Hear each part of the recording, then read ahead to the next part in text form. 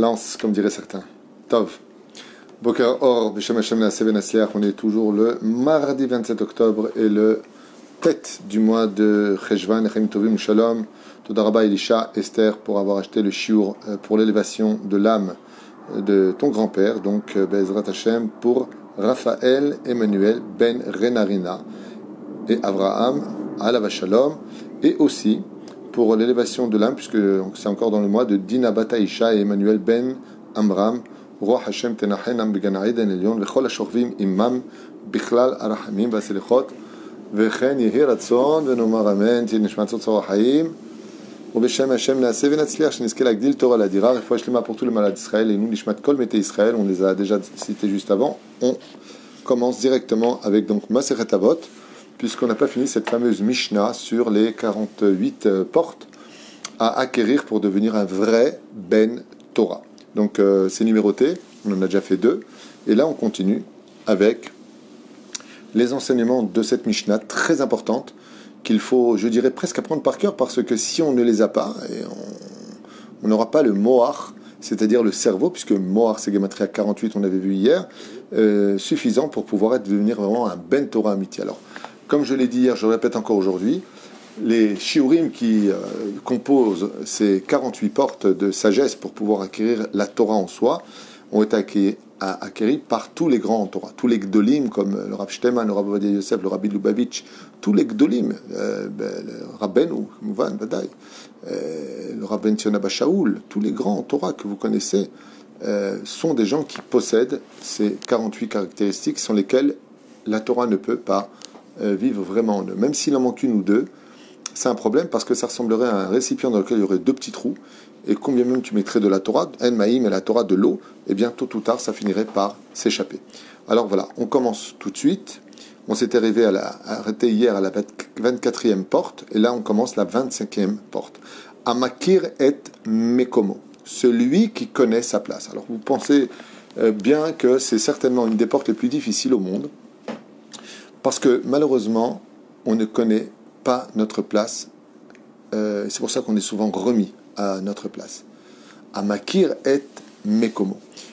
C'est une des choses pour moi au niveau caractériel les plus difficiles à acquérir, car déjà qu'il y a un côté un peu mytho dans l'homme, il, y a un côté très exagéré dans chacun de nous. Euh, des fois pour le meilleur, des fois pour le pire. Mais souvent, on ne, vit pas dans l'objectivité de ce que l'on est, de ce que l'on vit, de ce que l'on a. On est toujours dans, dans, l'approximative, mais pas dans le précis. Et pour vivre la dimension de Amekir et Mekono, connaître sa place, vraiment, mais comment Mamash connaître sa place, il faut avoir un cerveau qui est parfaitement équilibré. Sinon, automatiquement, on va plonger dans toutes sortes d'hérésies, de l'esprit, de pathologies quelconques, voire même de mythomanie. Et on s'en rend pas compte, mais beaucoup de gens sont un peu mythos. Beaucoup, pas un peu. C'est pas. C'est pas 1, 2 sur 100. Hypocrite Non. Hypocrite, c'est une chose. Mytho, c'est autre chose. Ce sont des gens qui vivent un petit peu dans. dans, dans un mytho, c'est quelqu'un qui s'imagine des choses et qui se persuade qu'il les a vécues. Mais c'est toujours basé sur une base de vérité. Je m'explique. Imagine qu'une personne accompagne pendant 3-4 séances un médecin, il l'amène en voiture pour aller soigner des gens il va voir comment le médecin a opéré ses guérisons. Vous savez euh, Il peut tout à fait dire un mois plus tard, mais de toute façon, j'ai été médecin. Il, a accompagné un médecin, il a vu faire, euh, je suis médecin. J'ai fait des études de médecine. C'est ça un mytho. Mais le pire, c'est qu'il peut te jurer que c'est vrai. J'ai fait des études parce que, ouais, ben, pourquoi je t'ai pas accompagné, j'ai pas vu. Mais quel rapport? Quel rapport? Tu ne fais pas l'objectivité. Donc tu ne connais pas ta place. On voit ça aussi dans le domaine de la Torah, les gabaïm. C'est terrible ce qui se passe. Un gabaï, c'est pas un rave. Un président, c'est pas le rave. Même s'il a de la Torah. C'est le kashour. Un rave, c'est un rave. Un président de communauté, c'est un président de communauté. Un gabaï, c'est un gabaï. S'il y a trois noms différents, c'est parce que c'est trois rôles différents. Et quand on ne joue plus son rôle et qu'on déborde sur le rôle des autres, sous prétexte qu'on ne connaît pas notre place. Et ça, c'est ce qui dérange le plus la société dans laquelle on vit ce sont les gens qui ne connaissent plus place. Par exemple, un père, c'est pas un copain. Une mère, c'est pas une copine. Un fils, c'est pas ton copain. Il y a des hiérarchies, il y a des, rôles à obtenir, il y a des rôles à garder, c'est pas mon rôle. Et vous regardez par exemple que dans les domaines professionnels, on, parlait de médecine, on reste dans la médecine. Quand tu vas voir un médecin généraliste et que la personne a un problème de cœur, qu'est-ce qu'il lui dit le médecin généraliste? Allez chez le cardiologue. C'est un problème de cerveau. Neurologue. C'est un problème de foie. Et ainsi de suite. Chaque personne a une spécialité et chacun respecte l'opinion de l'autre. C'est-à-dire que quand tu vas voir après un professeur, il va te demander les résultats de qu'est-ce qu'a dit le cardiologue, qu'est-ce qu'a dit le neurologue, qu'est-ce qu'a dit le, le, le, je sais pas, le spécialiste. de telle et telle maladie. Donc vous voyez bien qu'il y a une spécificité. Il y a, il y a des études qui sont précises. C'est ça, connaître sa place. Connaître sa place, c'est ne pas prendre la parole devant quelqu'un de plus sage que nous. Connaître sa place, c'est comme par exemple le Rav dit quelque chose, dans la Beta Knesset, je parle de tous les rabbinimes du globe de la terre. Je fais allusion en personne, Chazvesham, qui n'est pas d'ambiguïté. Euh, mais le Rav dit quelque chose, euh, toi, tu n'es pas le Rav. Quand tu seras Rav, tu auras ta synagogue, tu feras. Mais ce n'est pas le cas. Donc, reste à ta place. Et si le Rav te met à cette place, prends cette place. Vous voyez ce que je veux dire? Et c'est ça qui amène la bracha. Eliyahu Navi Zachor Letov raconte à propos de Rabbi Yoshua ben Levi que la bénédiction dans une Beta Knesset, la bénédiction dans une société, c'est quand chacun reste à sa place et connaît sa place. Pourquoi ça va si mal dans le monde? Parce qu'il y a une espèce de débordement aujourd'hui où on peut dire ouvertement, mais ouvertement, que les ouvriers se sont pris pour les patrons. À un tel point qu'il est préférable d'être ouvrier que de patron aujourd'hui. Tu as tous les inconvénients quand tu es patron. Et si tu as le malheur d'être un patron qui réussit, c'est ouais, t'as vu, il a de l'oseille et pas nous. Mais quel rapport? C'est débile. C'est débile. Mais la reine, une des choses essentielles pour devenir un vrai Ben c'est de connaître ta place. Moi, j'ai eu le mérite de connaître des gens qui ont fini trois, quatre fois le chasse. Pas Bebekiut, Beyoun.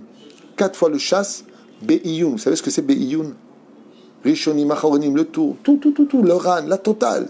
Tous les, tous les Rishonim, Macharonim. Ouais. Tu leur poses des questions. Tu as des gens, ils n'ont même pas fini une Maserhet, Bebekiut, ils sont prêts à raconter leur vie. On ne connaît pas notre place. Et ça, hein, c'est vraiment un des problèmes majeurs dans la vie de chacun de nous. C'est pas simplement une des portes essentielles pour devenir un Ben Torah. Avalama kiret mekomo, celui qui vraiment connaît sa place, non seulement ne crée pas un déséquilibre au sein de la société ou la famille ou le domaine professionnel dans lequel il exerce, mais surtout, il apprend à vivre heureux. Parce que malheureusement aujourd'hui, les gens ne connaissent pas leur place les gens ont, quitté leur place. Et s'ils ont quitté leur place au niveau de l'esprit ou au niveau des paroles, résultat des courses, qui étaient donc à leur place. Déplacer les choses ne permet pas l'emboîtement de la vie. Tu sais, quand tu prends un objet, tu veux l'emboîter, il faut le mettre à sa place. Si tu le mets juste à côté, ça rentre pas. De la même façon, dès qu'on quitte sa place, tout se déboîte dans la société, donc ça fait des clans. Ce qu'on peut voir malheureusement aujourd'hui dans les synagogues, des clans secrets. Des, des clans sont en train de se créer avec chacun son chef de clan. Et ça, c'est la plus grande klala d'une bête à Knesset, c'est la plus grande klala d'une famille. Quand il y a des clans dans la famille, ça devient une mafia. Ça devient des nids de lachonara, des nids de vexation, parce qu'il n'y a pas d'union. L'union fait la force. Et l'union ne peut exister uniquement qu'à partir du moment où chacun connaît sa place dans la société. Quel est son rôle Où est sa place et ne bouge pas de ta place. Ça ne veut pas dire que j'ai pas d'ambition. J'ai de l'ambition, j'ai le droit. Le jour où j'arriverai à être concrètement ce que je voulais être, alors je pourrai changer de place, parce que ce sera ma nouvelle place. C'est pas la même chose. Je finirai juste avec un tout petit exemple, tellement cette parole est si grave et importante. Il y a une personne, par exemple, qui ne connaissait pas sa place. Pas une, il des milliards. Et il y en a encore, aujourd'hui, malheureusement. Mais il y a une personne toute particulière qui n'a pas connu sa place, il a créé un chamboulement et une mort immédiate pour lui et sa famille. Korach. Korach ne connaissait pas sa place. Il a eu le malheur parce qu'il était riche, parce qu'il était intelligent, parce qu'il avait une super belle femme, que tout lui souriait, qu'il avait une influence, c'est un très grand démagogue. Il s'est imaginé en disant pourquoi Moshe est à cette place? C'est la mienne. Ça lui a coûté que la bouche de la terre s'est ouverte, qu'il a été avalé droit au Guéhinam, lui, toute sa famille, et ainsi de suite. À part ses fils qui ont été recrachés à la fin. Aval, d'abord. Faire très, très, très, très attention à bien connaître sa place dans le judaïsme. Des fois, euh, Quelqu'un va prendre un peu trop fort la parole, euh, tu vas le remettre à, Sa place. à sa place. Hein, Quand, quand quelqu'un déborde de là où il doit être, on dit ben, Je l'ai remis à sa place. Ta place n'était pas là-bas. Et la meilleure façon de pouvoir évoluer les échelons des meilleures places, c'est de mériter déjà la place où tu étais. C'est parce que Moshe était heureux à la place que Dieu lui avait donnée qu'il l'a élevé au rang de leader du peuple d'Israël. Comme l'armée. Hmm? Celui qui, qui respecte, enfin, qui fait bien son travail. Tout à fait, tout à fait. Donc Amakir est Mekomo. Et ici, il y a un très grand secret philosophique qui se cache au niveau de la Kabbale. Amakir est Mekomo. Qu'est-ce qu'on veut, nous? On veut toujours plus. Le mot Makom en hébreu signifie deux choses. Il signifie endroit et il signifie, Dieu. Baruch Makom Baruchu. Dieu s'appelle Makom. Chez Nehemar, dans Parashat Vaivga Bamakom. Dieu est venu jusqu'à lui. Makom, c'est le nom de Dieu. Amakiret Mekomo. Celui qui connaît sa place, Dieu se dévoile à lui. Mekomo, Dieu sera avec lui, il est avec lui. C'est pour cela que quand un homme part de ce monde, il ira toujours être quelque part enterré dans l'endroit que Dieu lui a désigné sa place. Marloquette entre Hafetz Haïm et le idéologique et le et Baba Saleh. Est-ce que c'est bien d'acheter sa tombe avant de mourir ou est-ce qu'on laisse faire Dieu? A qui disent c'est bien de laisser faire Dieu. Aval Allah les à cette dernière demeure. Bamakom, Hashem Tsabo. On appelle ça l'endroit. La reine, on voit qu'une personne, quand elle est, enterrée, on la met à sa place. Très important de retenir cette dimension qui très souvent nous échappe. Quelle est ma place dans la société? D'ailleurs, la pire chose qui puisse nous arriver au niveau psychologique, qui nous mènerait à la peine et à une destruction de la force de vouloir se battre, on pourrait dire, c'est quand on ne trouve plus sa place. Quand une personne ne trouve plus sa place, quand une femme, par exemple, dans la vie de couple, ou un homme, dans la vie de son couple, il n'a plus sa place d'homme, ou la femme n'a pas sa place de femme, eh bien, automatiquement, le couple commence déjà sa détérioration. Ça commence zéro. Si une femme n'a pas sa place, si un homme n'a pas sa place, si nos enfants n'ont pas leur place, automatiquement, c'est la fin de l'histoire. C'est- l'engendrement de la catastrophe. Parce qu'on a besoin de place. C'est pour ça que le Beth Amikdash s'appelle Makom. Pourquoi? Parce que chacun a sa place. Quand on est au Beth Amikdash. C'est pour ça qu'Eretz Israël s'appelle aussi, d'une certaine façon, même si ce n'est pas réellement marqué, Makom. L'école Echad Yesh Bo est un Makom Shelo. Chacun de, chaque juif a sa place sur terre en Israël. C'est pour ça que s'appelle, dit le Rav Kook, Eret Tzvi. C'est un endroit dont la peau s'étend. Comme- Comment ça elle s'étend C'est très simple. Quand tu prends la peau d'un cerf, vous avez déjà vu la peau d'un cerf? Elle est immense sur lui. Un truc de fou. Un cerf, il fait euh, 1m50 de haut, il est balèze. Un cerf tunisien. Wow, bien. Tu as une peau, mais elle est immense. Tu peux faire trois manteaux avec. L'animal est tué, tu lui enlèves sa peau. D'accord? Tu la mets sur la table, mais ça fait, il peut même pas rentrer sa manche dedans. Elle devient toute petite. Et Eretz Israël est comparée à la peau de cerf. Pourquoi? Parce que quand on vient en elle, quand elle est, la, terre d'Israël qui est comme un manteau sur nous, on la met sur le peuple d'Israël, on devient une nation, elle devient immense la terre. Mais quand on la quitte, elle devient toute petite. La terre est toute petite. Mais quand le peuple revit sur sa terre, c'est vrai que quand on roule en Israël, c'est un tout petit pays Israël. Mais qu'est-ce que c'est grand? C'est grand, tu vois les plaines autour de toi, c'est à l'infini, c'est pas possible. Pour construire des, des millions, des millions de maisons. Alors que c'est un tout petit, petit, petit pays. C'est aussi grand qu'un département aux États-Unis, quoi. On va commencer quand même la Mishnah. C'est la préface. Et là, premier enseignement psychologique extraordinaire de cette Mishnah, c'est que tu ne peux pas savoir quelle est ta place si tu ne te connais pas. Si tu ne sais pas estimer ta vraie valeur sur Terre. Il y a des fois des gens qui se sont sous-estimés, qui n'ont pas été vraiment à leur place. Et il y a des gens qui se sont surestimés et qui n'ont pas leur place. Erko, seul celui qui connaît ses vraies valeurs connaîtra vraiment sa vraie place. Et comment je peux le savoir? Eh bien, c'est que là où tu es, c'est que Dieu veut que tu sois. Hein? Tu vois, quelqu'un me dit, dit, je comprends pas, ça fait 10 ans que je suis ouvrier dans une boîte, pourquoi je suis pas patron? Je dis, bah, parce que Dieu veut que tu sois ouvrier. Parce que si vous voulez que tu sois patron, c'est patron. Mais peut-être que tu veux tous les avantages du patron sans les responsabilités. C'est ce qui m'a sorti, il m'a dit, ça doit être ça.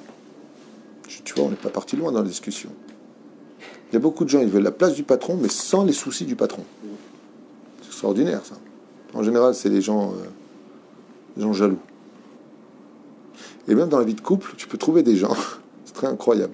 Dans la vie de couple, tu peux trouver des gens qui veulent diriger, mais ne veulent pas les responsabilités de leurs erreurs. Alors, dirige pas. Prends pas la parole. Prends pas les devants. Hein? Top. En fin de compte, je fais tout, mais s'il faut payer, c'est toi qui payes. Et surtout que la personne ne commette pas l'erreur de prendre une place qui n'est pas raouilo, qui n'est pas pour lui. C'est pas ta place. Hier, non, avant-hier, c'était. J'ai un non-juif qui m'appelle au téléphone. Je me vois gentil comme tout, il me parle. parle. Ça fait longtemps qu'il me suit, ça fait plusieurs années qu'il regarde mes shiurim, donc ça fait longtemps que je suis en contact avec lui aussi. Et euh, il me dit, Rav Tutu, vous pensez que je dois me convertir? Je lui dis, pourquoi faire? Pourquoi tu veux te convertir? Tu peux très bien être un très très bon non-juif.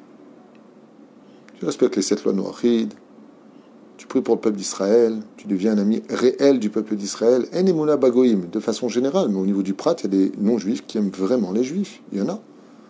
Ça ne veut pas dire qu'on se marie avec. Chas Vesham, c'est sourd. Mais il faut avoir du respect pour tout le monde, la malo. La malo. Et je lui ai dit, tu peux tout à fait être un très bon non-juif. Et tu auras ta part au monde futur, et tu iras au Gan Eden. Pourquoi quitter ta place alors que tu pourrais l'enjoliver? Il m'a dit merci beaucoup, ça m'enlève une pierre euh, du cœur. C'est quelque chose de, qui m'embêtait. Parce que je sais que la Torah est vraie, me dit-il, mais alors quoi Alors je me convertis. Je, tu peux rester tout à fait quelqu'un qui adhère à la Torah, qui respecte le peuple d'Israël, qui vit en tant que non-juif. Tu peux continuer à manger du porc, tu peux continuer à te avec qui tu veux. Sois heureux, rends ta femme heureuse, fais des enfants, sois bien dans ta vie. Tu n'as pas besoin d'être juif pour autant. Ça l'a soulagé d'entendre cela.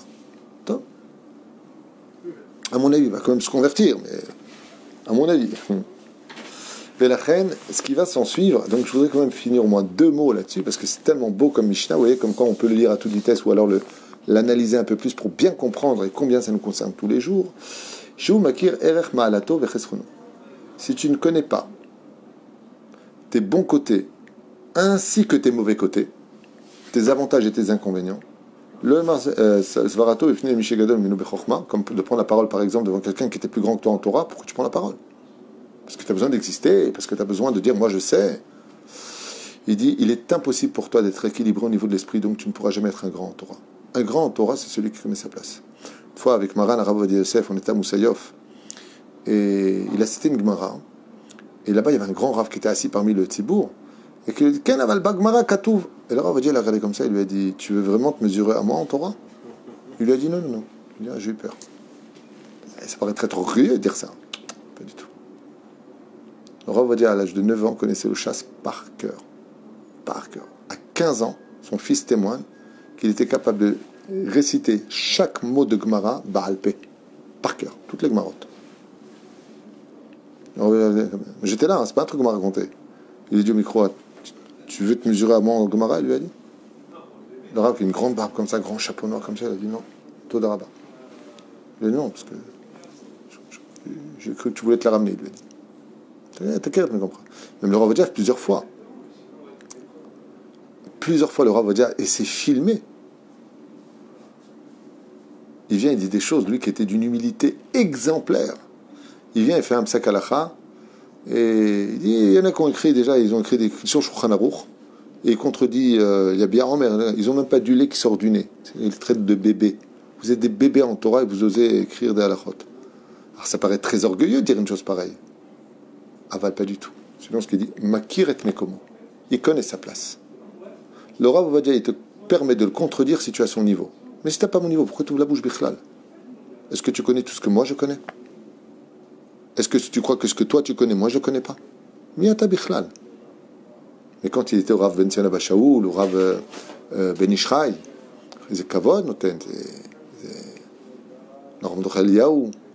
Echad et bah, pas n'importe qui peut se permettre de contredire. Hein? de pouvoir évoluer dans ce monde, surtout au sein de la Torah, si tu connais pas ta place.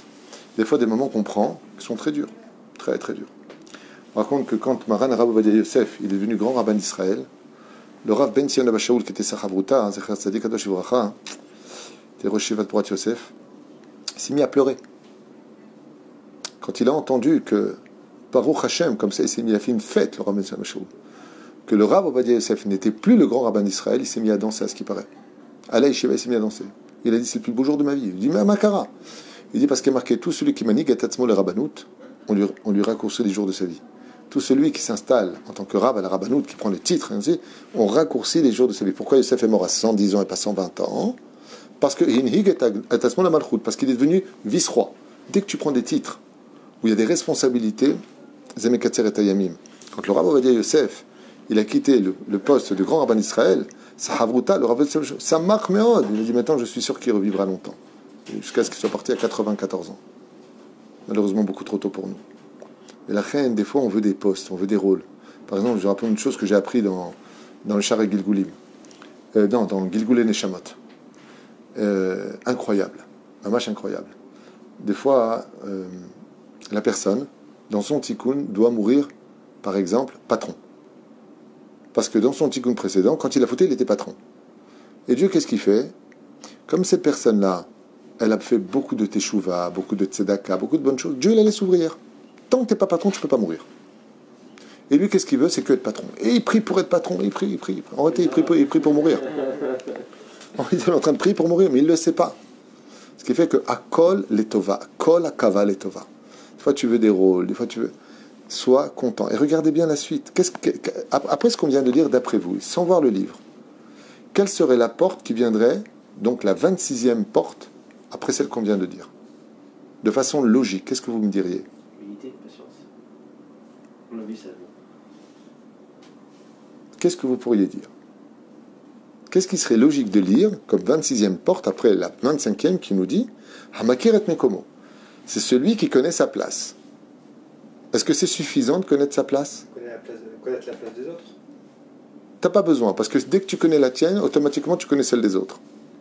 Puisque c'est à partir, et c'est très intelligent ce que tu viens de dire, parce qu'on ne peut savoir qui est l'autre que quand je sais où je suis. C'est-à-dire que si je suis au bon endroit, alors je saurai que les autres ne sont pas au bon endroit. Mais si je suis pas au bon endroit, je suis décalé, donc même je vois tout décalé autour de moi. J'espère que vous prenez conscience de vraiment de ceux qui regardent ce cours de, l'importance des mots qui sont dits ici. Béhémet, c'est de la pure, mais de la pure Torah euh, psychologique. C'est incroyable. Bon, la 26e porte, c'est simplement Samer Bechelko. Samer Bechelko. Une fois que tu es à ta place, il y a autre chose qui pourrait être euh, difficile. C'est qui t'a dit que tu seras heureux C'est pas suffisant. C'est-à-dire que si tu n'es pas content de la place que tu occupes, tu ne mériteras jamais de monter les échelons. Car la Gemara nous dit, pas que la Gemara, les Chachamim, partout tu peux lire ça, dans tout livre de Moussa, celui qui n'est pas content de ce que Dieu lui donne ne sera jamais content de ce que Dieu lui donnera. Donc, même ce qu'il avait, il le perdra. C'est un clal. Laisse faire Hachem. Ça veut pas dire que tu n'as pas d'ambition. C'est-à-dire que tu ne dois pas faire ta ishtadlout. Fais ta ishtadlout. Mais fais-la avec le sourire. Et si ça marche, tant mieux. Et si ça marche pas, même réponse, tant mieux. Voilà ce que ça veut dire. Et je finis avec cette Mishnah magnifique qui dit Sa mère il ne va pas commencer à s'annuler par amour pour l'argent, il va annuler l'étude de la Torah et plein d'autres choses.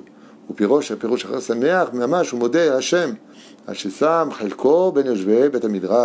comme celui qui est content de son sort, de s'asseoir parmi des gens de Torah, d'aller étudier la Torah, que Dieu lui a donné cette femme. Il se marie avec une femme, il regarde tout le temps celle des autres. C'est vraiment une question non-stop. Pourquoi je me suis marié trop vite Pourquoi je me suis marié trop jeune Pourquoi j'ai épousé elle Elle n'a pas ce que je voudrais, elle n'a pas ceci, aujourd'hui je peux avoir ceci. Arrête, easy, easy. Si tu es marié avec elle, c'est ta femme, Nigmar. Mata rotse. Lotov, zemayesh. Mata asarshav. Zemayesh. ולכן צריך להשתדל להכיר et mekomo. Et c'est pour ça qu'une personne qui veut réussir sa vie se devra, Bezrat Hashem, non seulement de bien connaître où est sa place, mais en plus de ça, d'être heureux dans la place où il est. Car là où il est, c'est là où Hachem attend de lui qu'il se répare. Mais la reine, si on voit ce principe-là, on finira avec une très belle phrase. Il n'y a pas de grand, il n'y a pas de petit, il n'y a pas de riche, il n'y a pas de pauvre, il n'y a pas de bien, il n'y a pas de moins bien. Il y a juste une chose. On est tous à notre place. Quand on a 6 ans, on rêve, d'avoir 15 ans. Quand on a 15 ans, on rêve d'avoir 20 ans. Et quand on a 50 ans, on rêve d'avoir 18 ans. On n'est jamais content de la station dans laquelle on est. Alors qu'en réalité, j'ai posé la question à un rave qui était très âgé. C'était un étivote. Je lui ai dit, vous, vous aimeriez être jeune? Il m'a regardé comme ça, il m'a dit, Lama. J'ai pas été jeune pour euh, demander à être jeune. Et j'avais pas compris sa question à l'époque. Sa réponse, j'avais pas compris. Mais elle voulait tout dire. J'ai eu mes 20 ans. J'étais très heureux à 20 ans. Et là, il avait peut-être 96 ans. Il m'a fait une belle racha. À l'époque, c'était un, vieux rave du Maroc qui était un étivote. Il m'a dit pourquoi Pourquoi tu veux que je sois jeune? J'ai été jeune. Ça, c'est une excellente réponse. On a peur de vieillir, on a peur de ceci, on a peur. Hein?